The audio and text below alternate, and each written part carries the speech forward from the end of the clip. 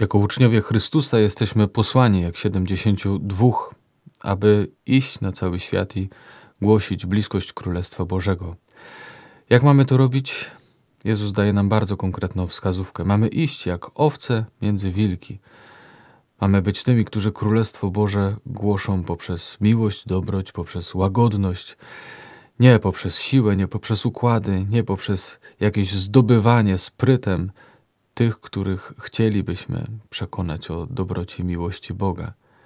To bycie jak owca między wilkami oznacza, że wierzę, że Bóg przeze mnie będzie działał, że będzie jak zaczyn, który przemienia całe ciasto, że będzie jak ziarno gorczycy, z którego wyrasta wielka roślina.